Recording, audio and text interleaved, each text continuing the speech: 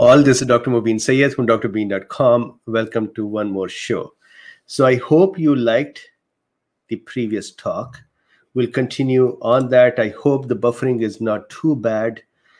And I hope you would continue to like and subscribe and share. So welcome. Here is the, the disclaimer. So please keep the disclaimer in your mind. Pause the video, watch it, read it and here is a disclaimer on the bottom. This is not a medical advice. This is medical education only. Okay, so where are we? How is everything? that is interesting.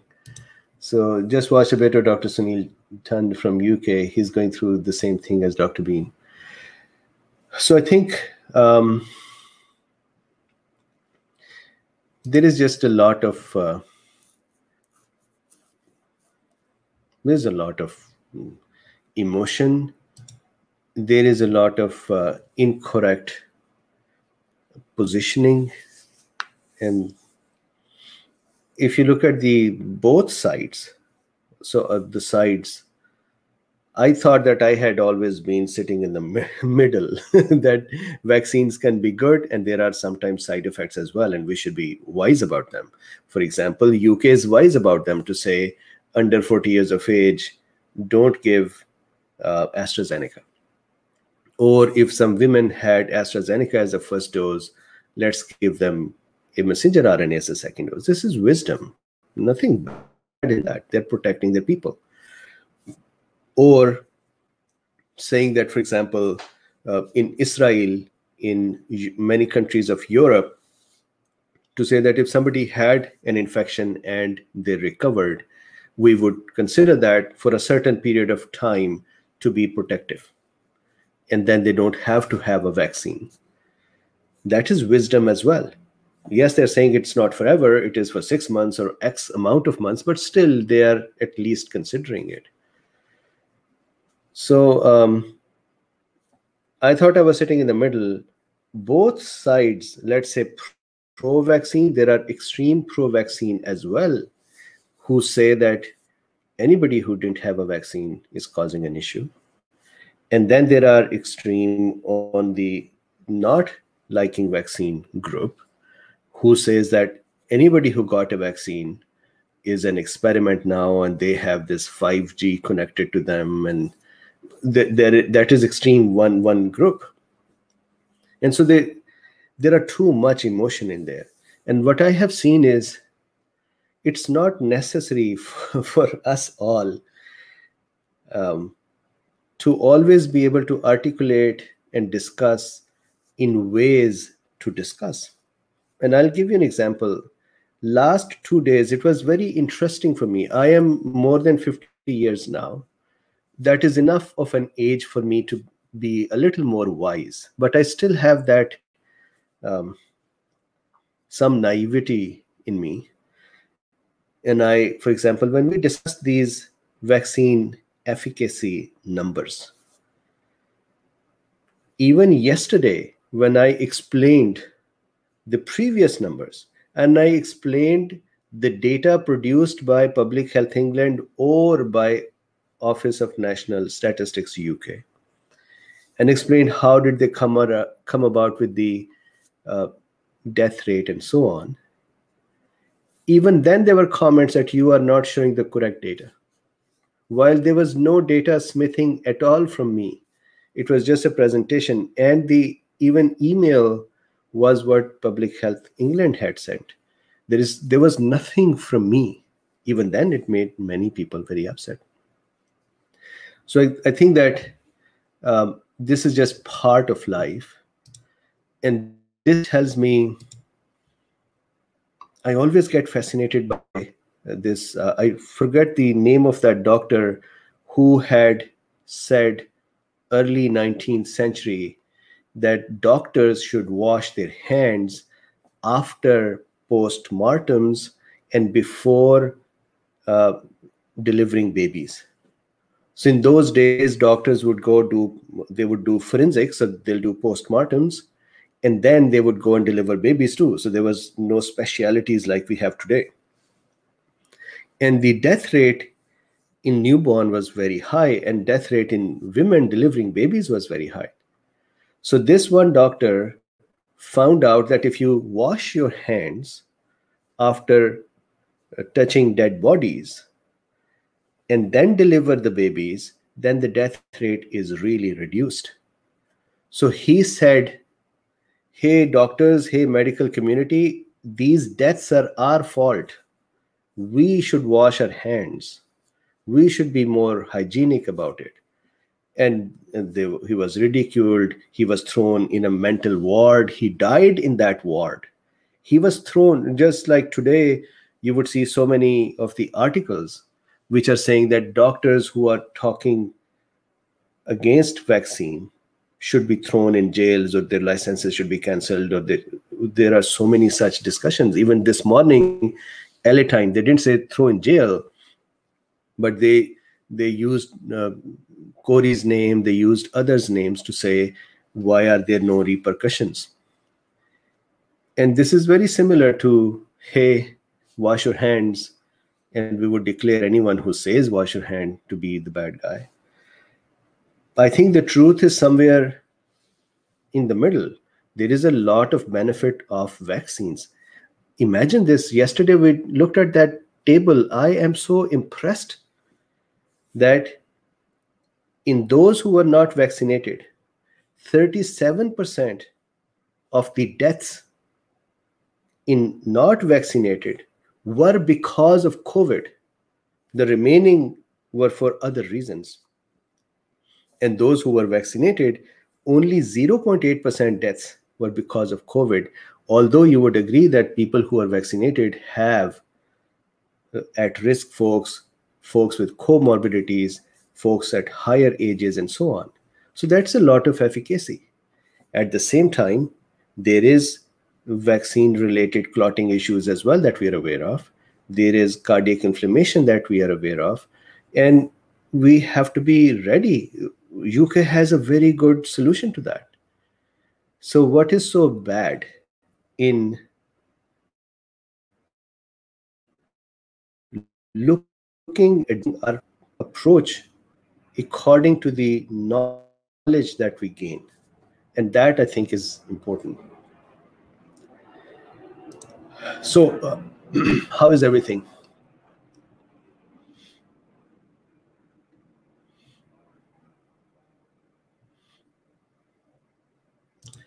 Bob channel. Yeah, so that is the kind of thing that was happening.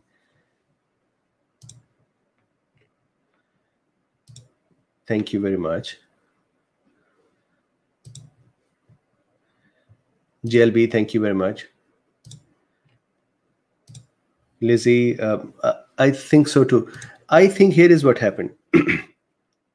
I think there is a mandate from the chief executive of the country to say get more people vaccinated and and there is nothing hidden about that and again i have always been very very clear that i don't have a position for for politics in these discussions but it seems to me that because there is a mandate there is a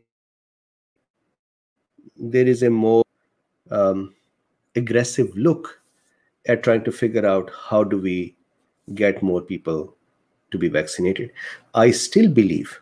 So again, you know that I have taken vaccine. My, my family has taken vaccines.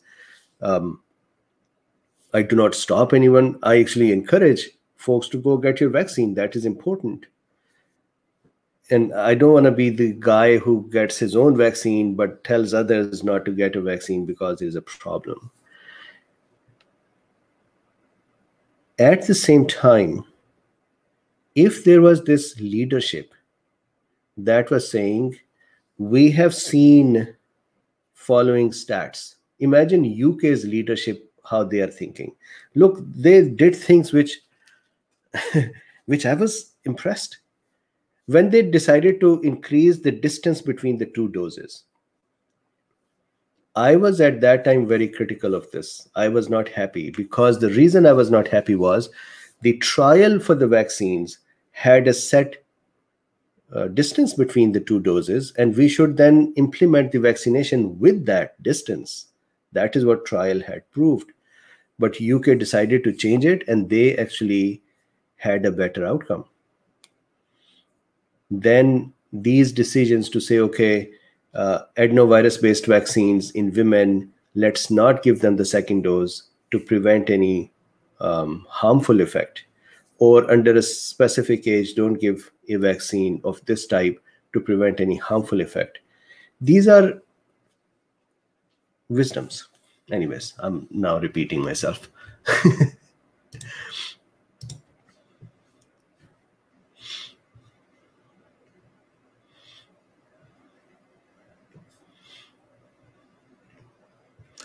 Doug is here. Hey, Doug, how are you?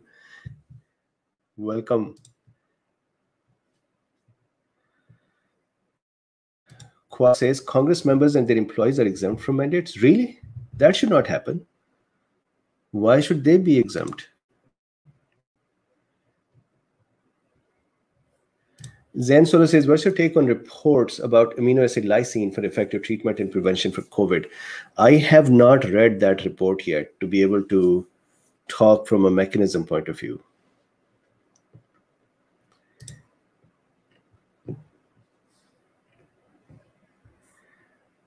I still believe, uh, so the chief's mandate we're talking about, I still believe if, imagine if you are um, a person who's deciding, I want to take a vaccine or not. And the administration comes to you and says, we have the following data for your age, for your gender, for your vitamin D levels, for the type of vaccines. And now we have vaccinated, let's say, worldwide a specific vaccine of type this of so many hundreds of millions this much of the time. This is our learning. We think a person of your age your gender your comorbidities will benefit from this vaccine rather than this vaccine don't you think that you would be more uh, willing to listen and you would feel that you are more confident about the message I think that confidence still needs to be. So what is happening is that confidence building is not there, but killing the messengers is now going on. Where, how should we get Dr. Mobeen to be quiet? How do we get Dr. Kory to be quiet? And so on. So that is what is now the way to move forward. Um, Rome Town Girl says, can you explain any concern about adenovirus vectors in terms of putting double-stranded DNA in the nucleus of the cell? Also, any need to worry about viral integration with J&J? So uh, again, cannot give you a personal advice or, or uh, opinion, but from a mechanism point of view, we know this, that number one, there is no concept of adenovirus DNA integrating into our DNA. These are non-replicating non-integrating DNAs. That's one. And they've been built that way. They've been modified. And uh, second part, uh, terms of putting double-stranded DNA in the nucleus, our nucleus would actually pick them up and destroy them at, at the end of the day. So yes, it is going into the nucleus, but it is just going and doing its function and then getting destroyed. It is interesting to see that J and J vaccines DNA stays and creates antibodies for a longer period of time. Or let me back up. Don't know if the DNA stays there for a longer period of time or not, but the the immune system response continues for months and keeps increasing. That's an interesting mechanism. What is behind that mechanism, I do not know.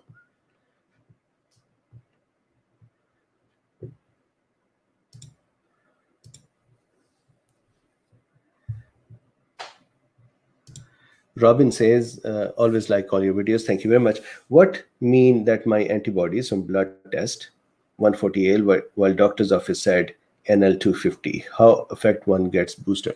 So for any test where there is a level, I can't sit here and say what is the correct level because every test has a threshold on it.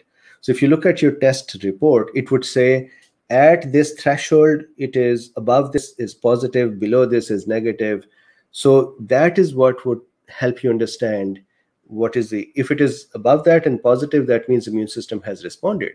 If it is below that then it is not responded or it had responded in the past and enough time has gone by that the test result are now dormant or less. That is how to interpret it not really commenting upon your tests specifically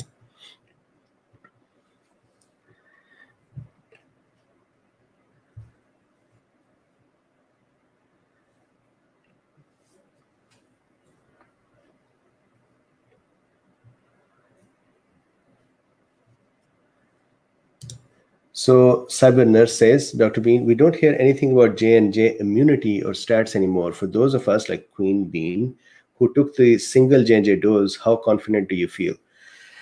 So my wife had J&J.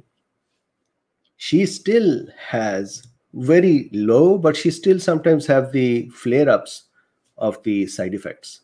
And she goes to her doctor and doctor says it is vaccine side effects much less now. That she's normally functional. She goes out she comes back she's comfortable but sometimes she says hey my my um, knee joints are aching. This tells me that her immune system is still on it. That means if she gets infected immune system would respond because it is still working. Now what is the exact efficacy? Just like we have pfizer data I don't have that data for J&J to actually say, like Pfizer says in Israel, they have the whole data out there. I wish that I had that kind of data for J&J to make a more educated statement, but I don't have that data. And that data should be there.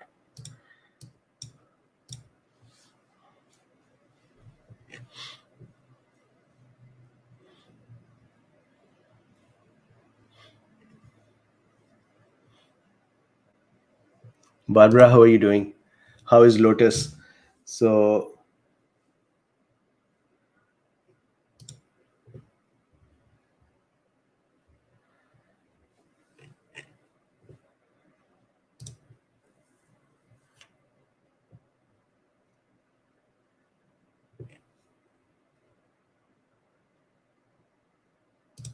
Doug says, Thank you so much for educating us and caring so much. Many blessings to you and your family. Thank you very much and blessings to you as well. Stay safe and healthy and healthy.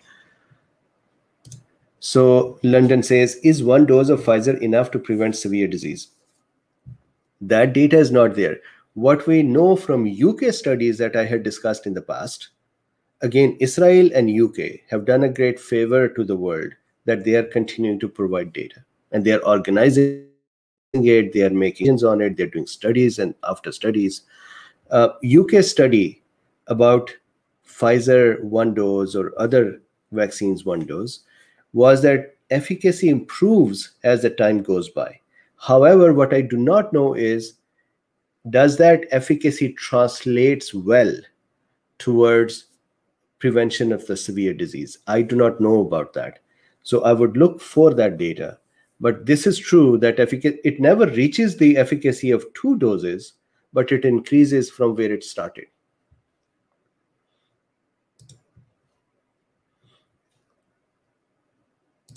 Patizik says, my ex still has joint pain as well. He has a lot of colds as well, unusual for him. He had Pfizer. Yeah, so various vaccines do have, in some cases, side effects. And thank you very much for all the super chats.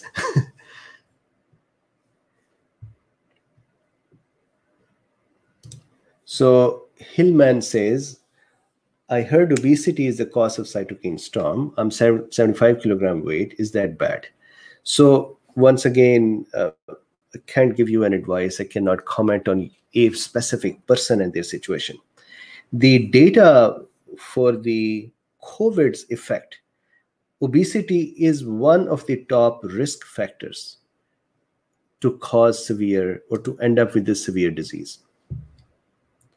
Having said that, I cannot um, think about you because I don't know if it is if you're obese or not.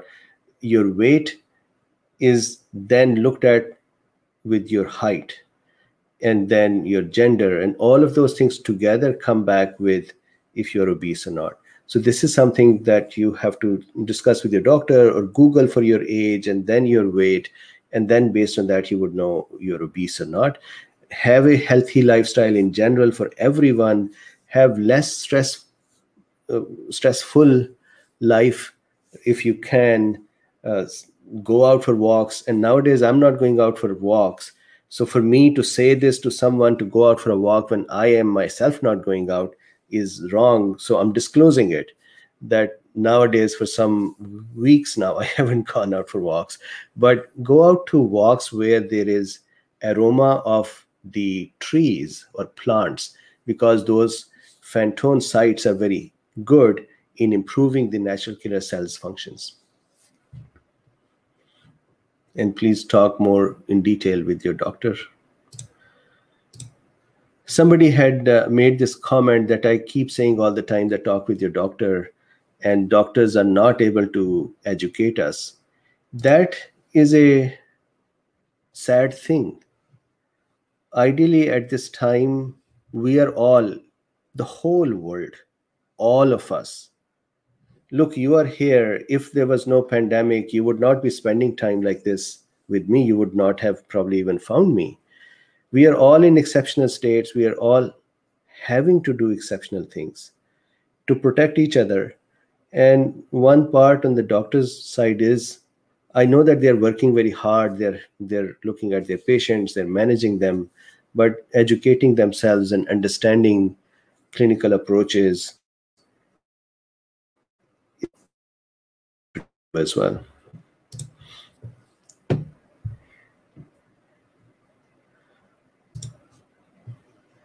Paul B says, What are your thoughts on the SaNOtize nasal spray you talked about five months ago? So I still like the idea, and it got approved in a couple of countries as well. I believe UK is looking to the one, but generally I loved it.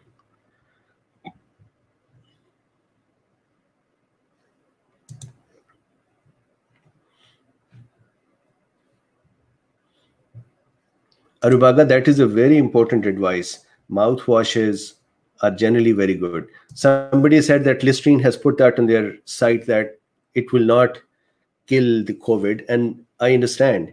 Listerine, if somebody just starts using Listerine to say now I cannot have COVID or COVID cannot do anything to me, that is not correct. So think about it for a second. If I did Listerine or some other mouthwash, Gargle, which is antiseptic uh, mouthwash, the gargle is finished and now my mouth is going to start developing the bacteria and viruses again.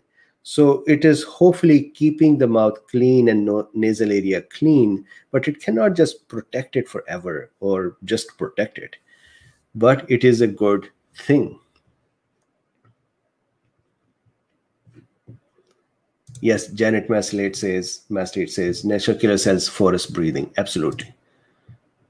Uh, light exercises forest breathing, staying happy generally helps improve the natural killer cells function and count by reducing epinephrine levels.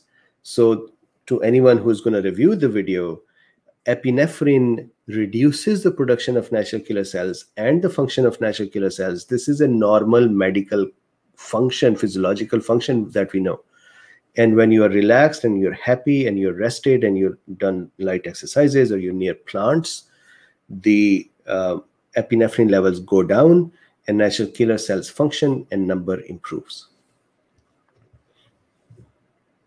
And there is a study i had discussed that study from japan where they did this uh, study on natural killer cells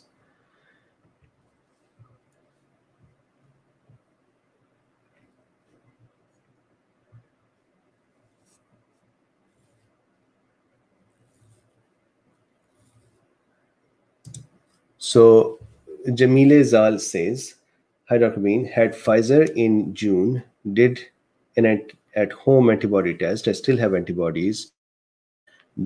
June, July, August. Okay. okay. How does one know when the efficacy is getting less? So there is no way to know that. other than you getting titers and then seeing how the titers are reducing over time. At home, test would only go positive or negative.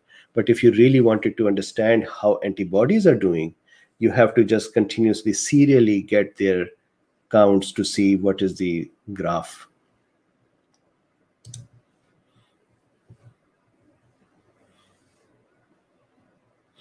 Gold Country says, did you see, see the YouTube link I sent to you yesterday? Went to info. Um, they didn't forward that to me. I'll ask them.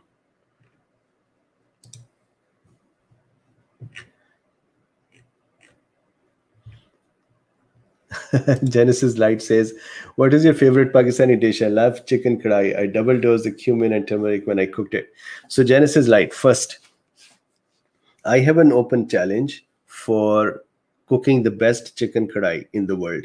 so, I think I make very good chicken kadai. That also means that I like it too. So, chicken kadai I love. Uh, nihari is another thing I love. And then, of course, biryani is my favorite as well aloo gosht, potatoes, and uh, meat is also a lot of fun.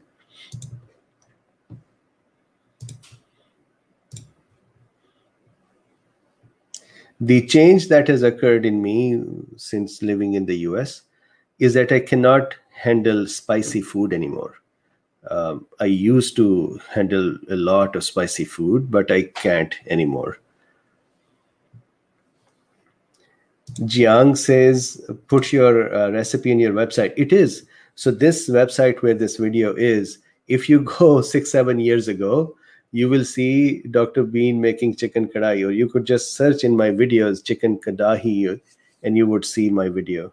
Not the best quality, uh, you know, the the pans are searing and there is sound of sizzling and all that, and I'm speaking in the middle of this too. But I think it's a it's a fun video to watch.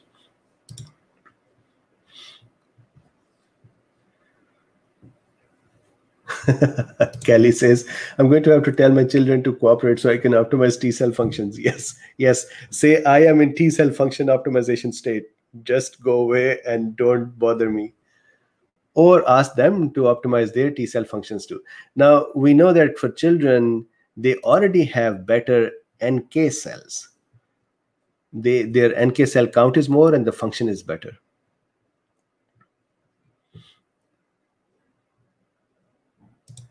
Turmeric. So today, uh, Dr. Paul Marik, he sent out a paper about turmeric. I was thinking of doing that paper, but I started the series for the androgens. Uh, he sent out a paper that turmeric is very, very useful for inflammation. Lynn Scott says, is there a test that could determine if a person had the disease 18 months ago? So unless you had a PCR type test at that time, the other possible test is T detect. I do not know if it can still detect after 18 months, but that is the only chance other than going to bone marrow and doing a bone marrow biopsy to see COVID plasma blast in there. That would be too much. Rima says yes, Nihari. Nihari is good. It's a it's a beef stew.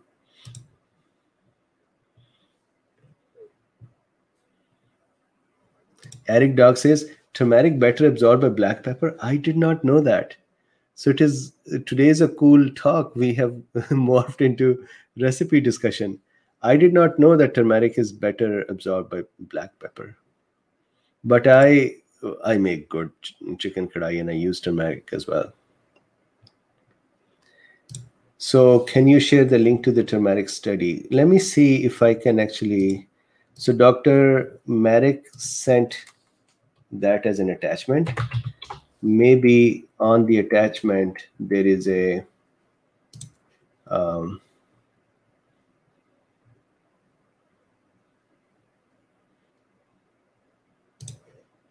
let's see.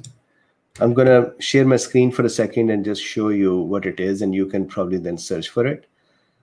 Uh, give me one second.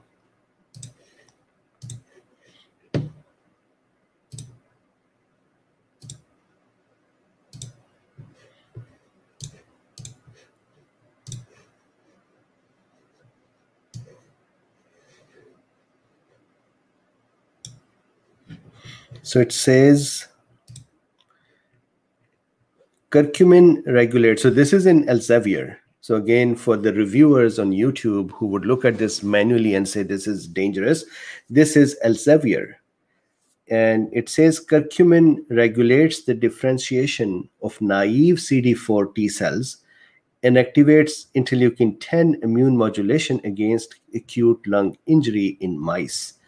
This is very, very interesting. So if I could, for a second, let me put my board up. I'll explain what the heading says.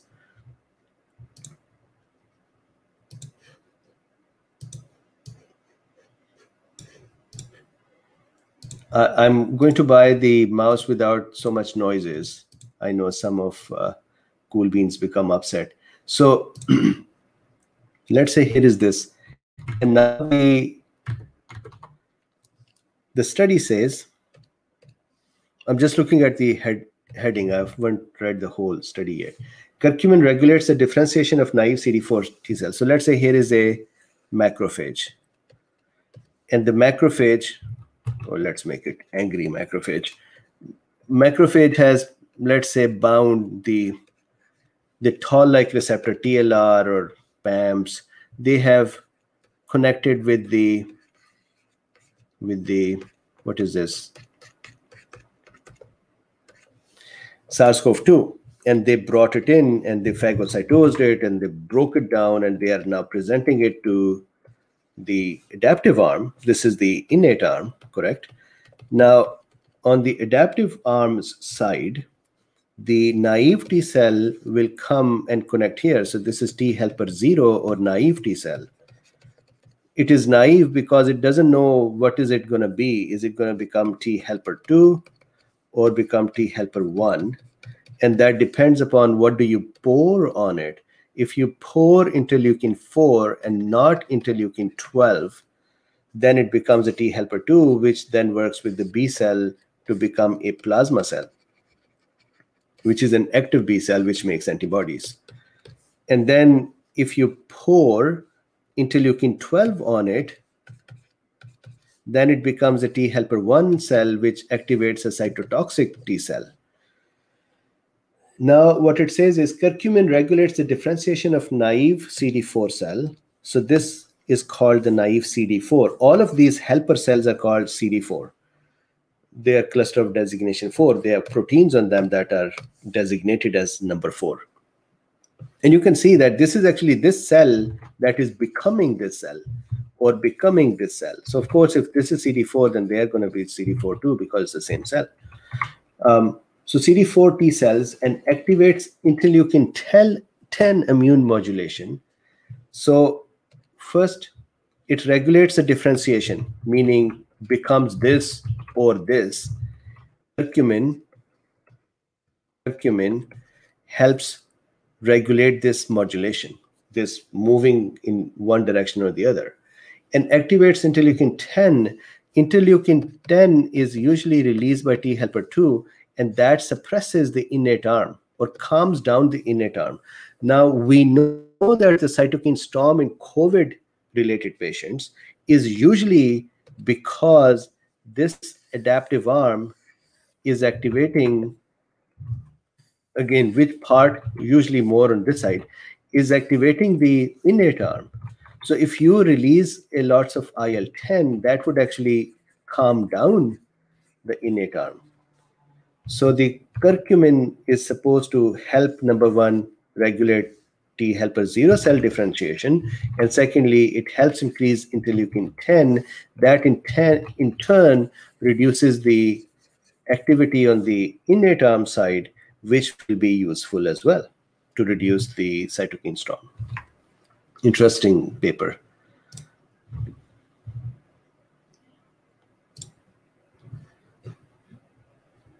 So hopefully you can search for this uh, title, curcumin regulates the differentiation of naive CD4 T cells and activates interleukin 10 immune modulation against acute lung injury in mice. So this is an in mice uh, study.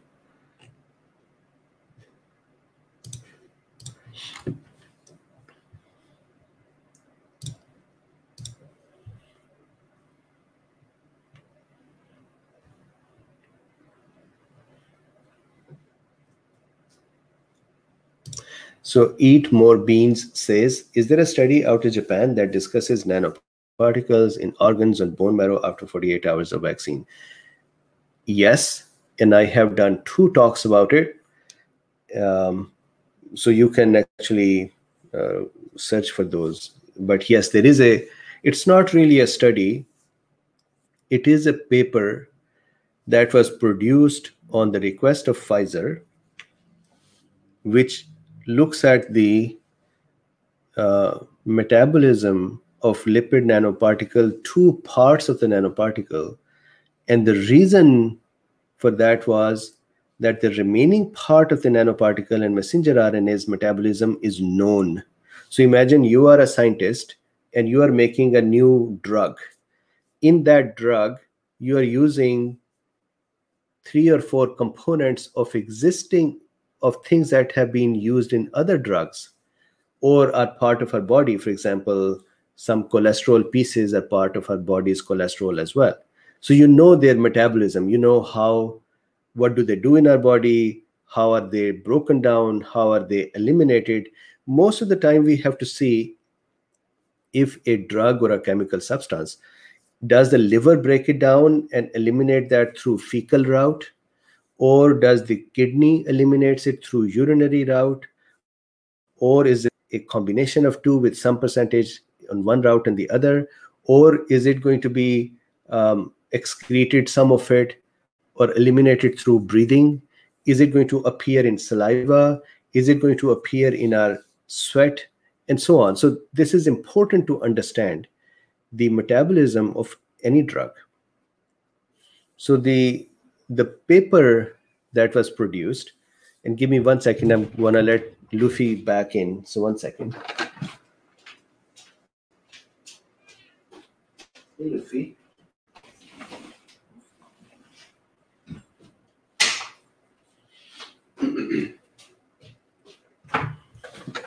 Sorry.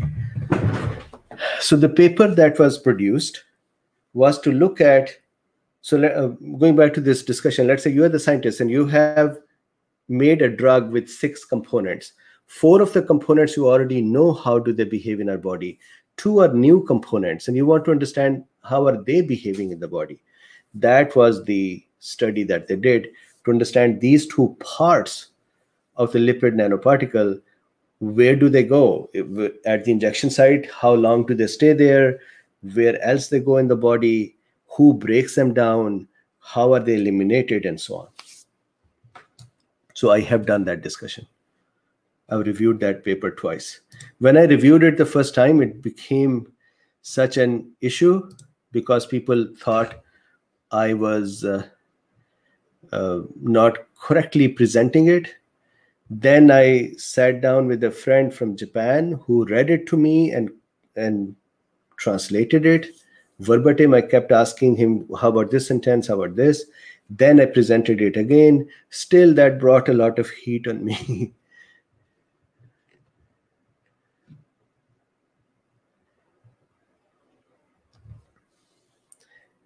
Adina says, if ivermectin alters gut microbiome, is it enough to cause dysbiosis? Perhaps adopting an aggressive program of pre and probiotics to rebuild good bacteria in the gut. Uh, I am not aware of ivermectin causing dysbiosis.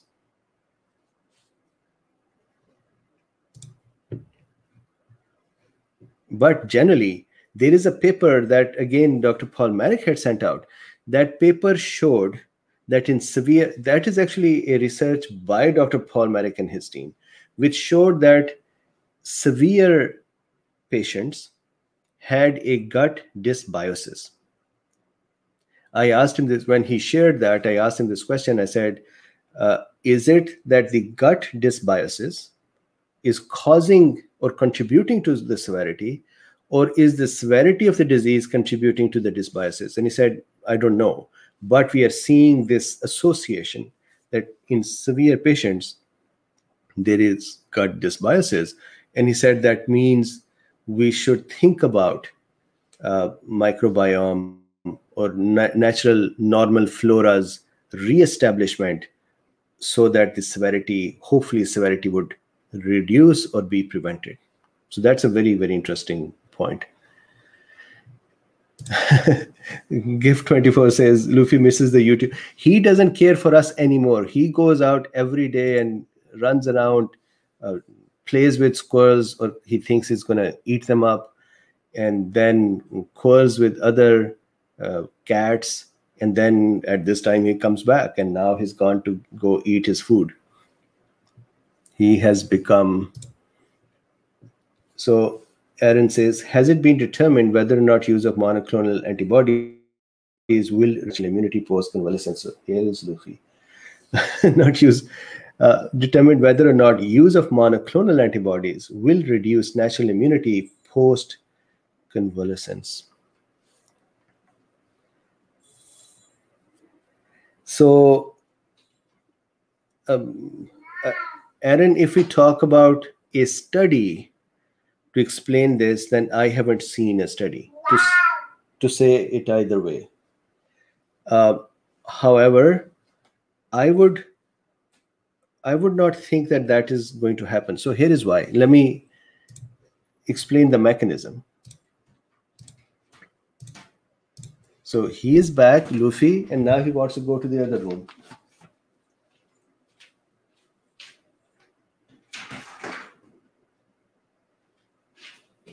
Luffy's a he's the boss in the house. Okay, so uh, Aaron, I think the way to I'm just going to think aloud with you. I may be wrong. Uh, here is the virus enters in our body, gets a bunch of cells as its target, infects them, damages them, comes out and has a bunch of daughters correct? When we feel that the person has the symptoms developed, we say, okay, give them the monoclonal antibodies. That may be Regeneron or other. Correct?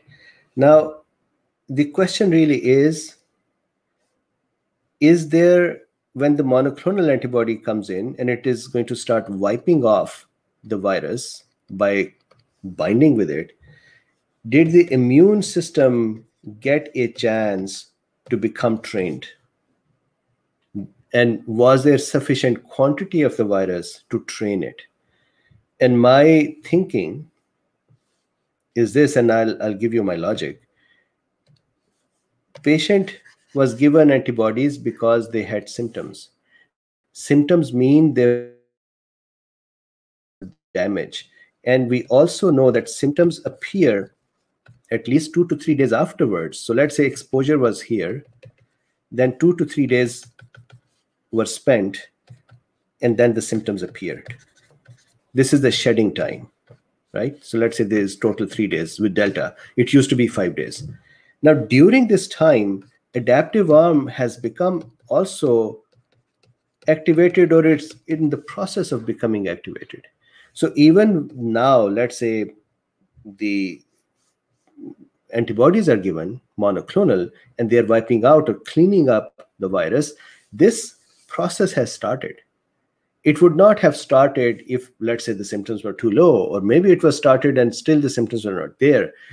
But when the symptoms are there and we figured out the symptoms and we gave the monoclonal antibody, that means in the meantime, our immune system had enough time to become active as well. Because viral load was sufficient to cause symptoms it was sufficient to trigger immune system too.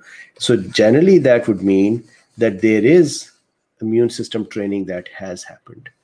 So i would be really surprised if immune system was not sufficiently trained after an infection that was controlled with antibodies monoclonal antibodies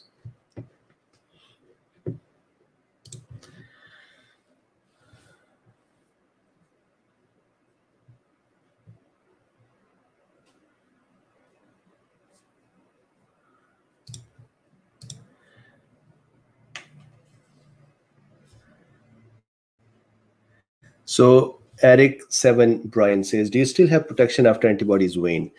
In theory, correct. Yes, the antibodies waning,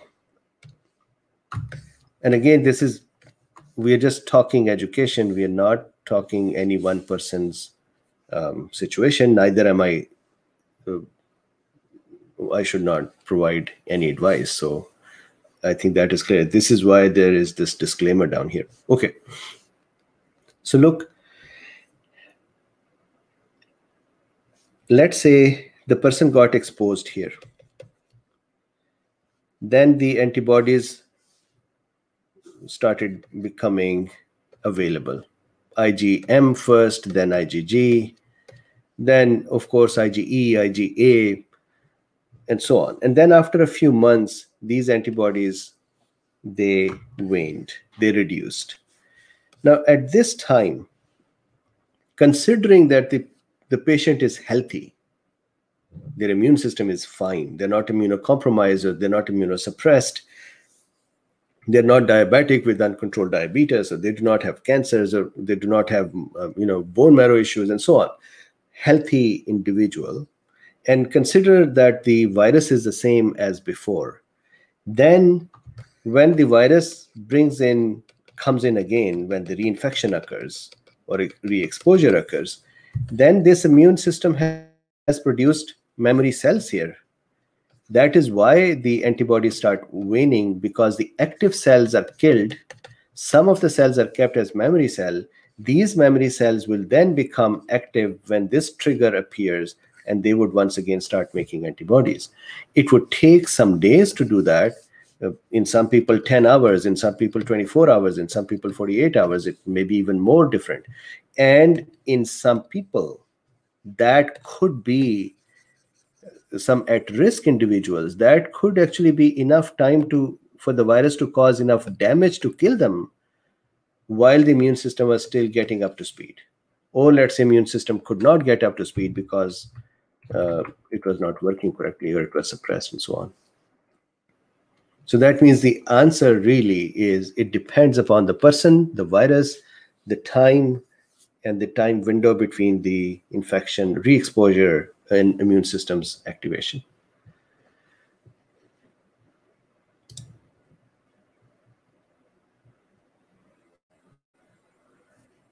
Soma and Sijoy Ghosh says, how much time is required for body to show spike protein on cell surface after vaccine?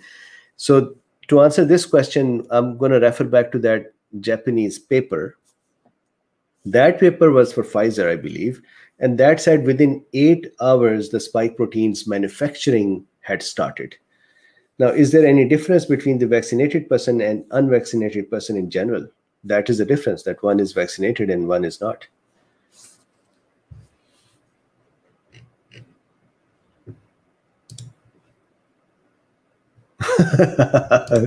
Gift 24 says, uh, Luffy was never into statistics. Squirrels are much more important. Yes, he really really he doesn't care for the latest topics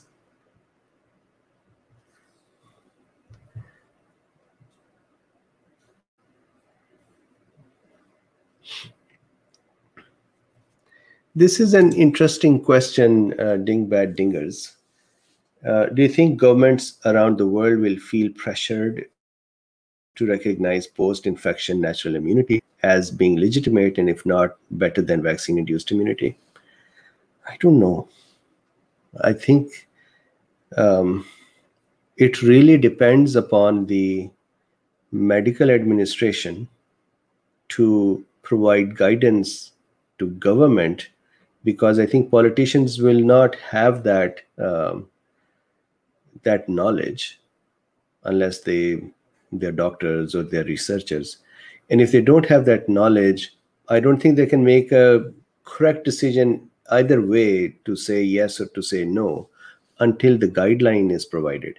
Now the question is the the folks who are guiding them, how are they thinking? Do they have any biases? Do they have any leanings?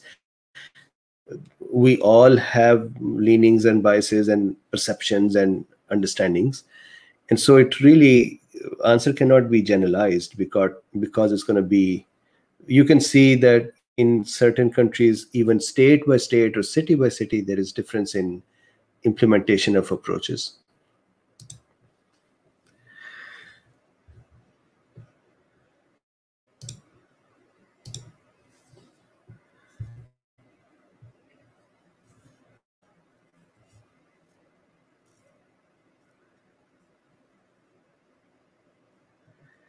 So YouTube's uh, 3888 says WHO, FDA, CDC, NIH changed their views about the use of ivermectin use of COVID-19.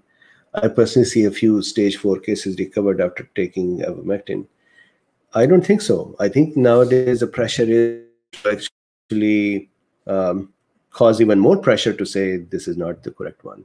So I don't, I'm not aware of any change.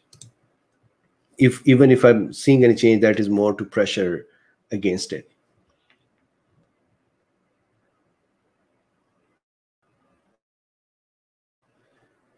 Okay, so Soman Sejoy says, um, sorry, my question was cut. I meant difference between vaccinated and unvaccinated D dimers. So D dimer has nothing to do with vaccinated or unvaccinated. D dimer is a result of immune system's activity sending cytokines to the liver, uh, sorry, not liver, uh, creating the clotting if there is clotting, and then breaking of the clot produces D dimers. So in this blood vessel, when there is inflammation, and if that inflammation inside the blood vessel or to the cells of the blood vessel or to the underlying layers of the blood vessel is causing enough of the uh, cytokines here that the clotting starts and then the clot has you can say there it has ro ropes around it we put strings around the platelets to bind them into a clot. When these strings break down, when the clot breaks down, which is a, also a natural phenomena, when the clot breaks down, these ropes break down into smaller pieces. These are called D dimers. So D dimer is really a uh, an indicator of clotting and breaking of the clot. Now, can that happen with vaccine? Sure. Can that happen with the actual infection? Sure. I don't suspect that vaccine can cause clotting with enough uh, damage that it could cause D dimer levels like COVID. But maybe in some people it could. Generally, it should not do that.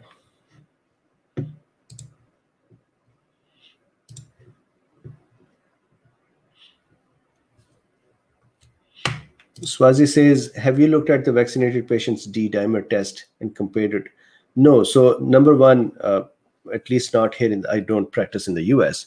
And in the uh, in Pakistan, I have not asked for D dimers. Other than patients are over there more used to doing these tests by themselves.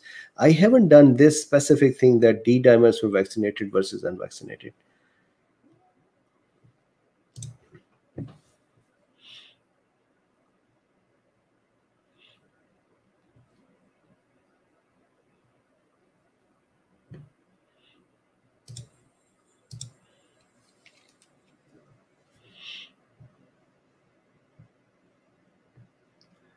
Dan Ward, Dan Ward says, why are young doctors setting us up for failure? They tell us if we feel bad, go to ER.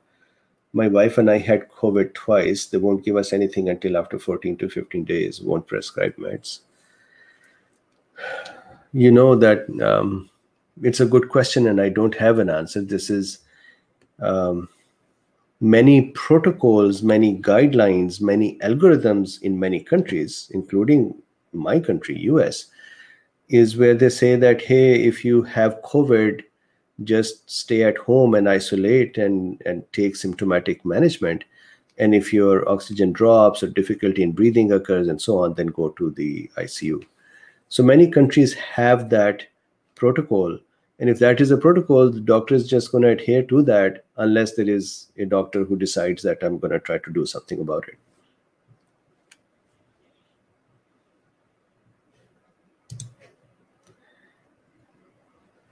So Raphael says, is there a list of ivermectin studies somewhere? Yes. So there are many, many sites which list out all the studies so far done. You could actually, I was thinking of going over those studies and looking at them one by one and discussing their weak points and their strengths. But there are 26 studies or so. It would take a lot of days, but that may be an interesting series.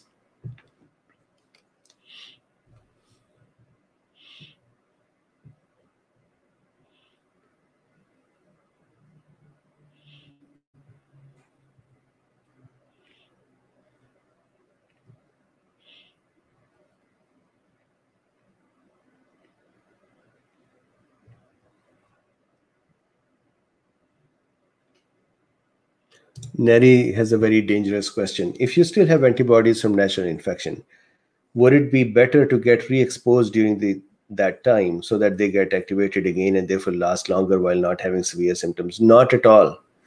Don't re-expose yourself to the to the virus. There is enough virus already in your body to replicate and to create um, exposure for the immune system. Please don't. This is not a. I was thinking a couple of days ago. You may have the cool beans who've been with me for some time. They know I think when I am in my bed. So I was thinking a few days ago that how um, dangerous it is to take a risk with this virus. For example, the folks who don't want to have a mask or folks who do not want to have a vaccine. So there are, I agree that there are folks who may not want to have a vaccine because of their health or other reasons, mm, allergies or things that the protocol says if you are allergic, then do it this way or so th there are reasons. But in general, taking a risk with this virus is, is equal to taking a risk with death. This is not a common cold type virus or common flu type virus that we can handle it successfully in all cases. It's a dangerous virus, it can kill. So imagine how difficult and how tough this decision is to say, I'm going to expose myself or I'm going to let myself be exposed to the virus, which has a chance of killing me. That's that's not a good decision to do.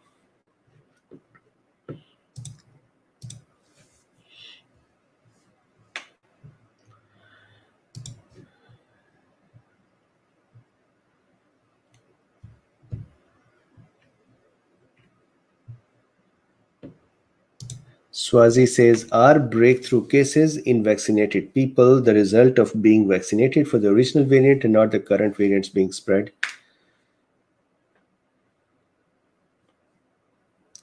So if that was happening, then that breakthrough would occur with everyone because vaccines are for the older variant and I want to uh, also make sure that we understand when we say older variant and new variant, the the spike protein for let's say delta variant compared to alpha variant.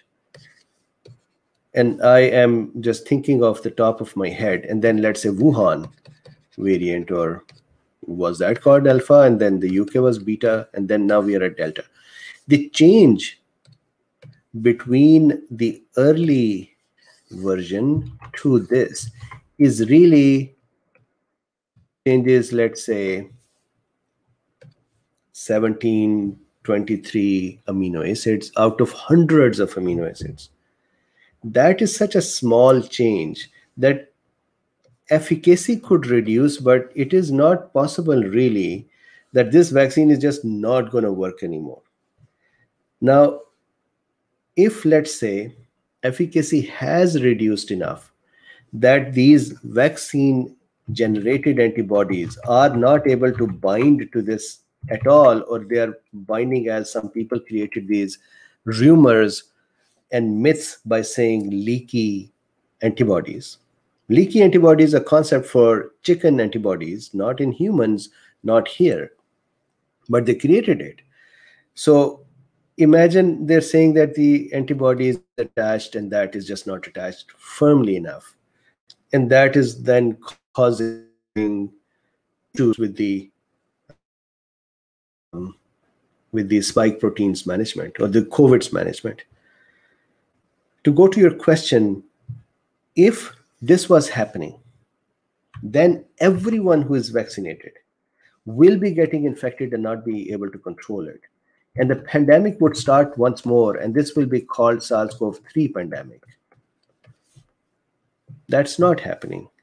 That means in some people, when the breakthroughs are occurring, that may have been a contribution of the virus, the antibodies, the immune system's uh, you know efficacy at that time their own health and there are so many other possibilities one second the definition of breakthrough is really symptoms again or infection again and we have done this discussion many times that if somebody gets exposed again after getting trained by either the infection or the vaccine so let's say they are actually good, but their system has gone down dormant or in resting state.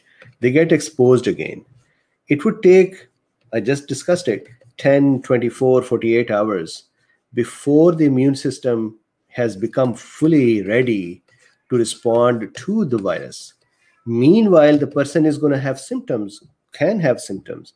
And if they have symptoms, it is it is defined as breakthrough but really it is not a breakthrough it is even yet the immune system has not activated it will really be a breakthrough that immune system becomes active and still not able to take care of the virus which is happening in some cases.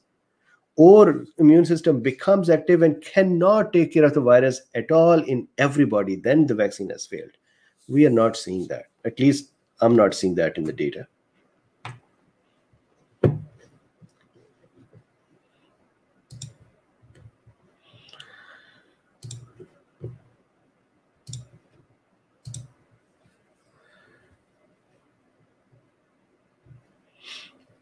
So uh, we are at eight o'clock. Let's do this. Let's stop for today. Please rem remember uh, on this Friday, we will have talk in the morning because we'll have Dr. Daryl DeMello with us, and he is in India. So the time difference, we'll just do one talk in the morning at 9.30 a.m. Pacific time. So thank you very much for your time. Please uh, do me a favor, like, subscribe, and share. If you don't want to subscribe or don't want to share, just like it. That helps as well. And if you would like to support this work, there are links in the description. You can buy me a coffee or you can become a patron or you can use PayPal to support it. Thank you very much. And I will see you tomorrow. We'll continue with the androgen series.